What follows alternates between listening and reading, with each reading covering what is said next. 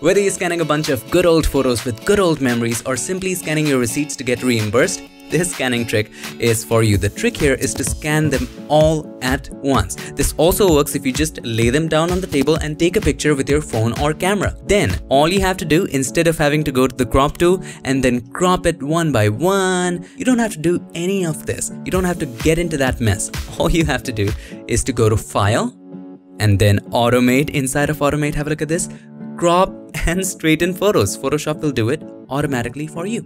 It has created four versions for four different photos. One, two, of course you need to rotate this by going to image, image rotation, 90 degree counterclockwise. Third one, and the fourth one. If you haven't figured this out yet, this little guy is me and that's my mother. This trick works no matter how many photos you have in just one scene. I hope this helped you. I will see you guys again in my next one. Till then, stay tuned and make sure that you keep creating.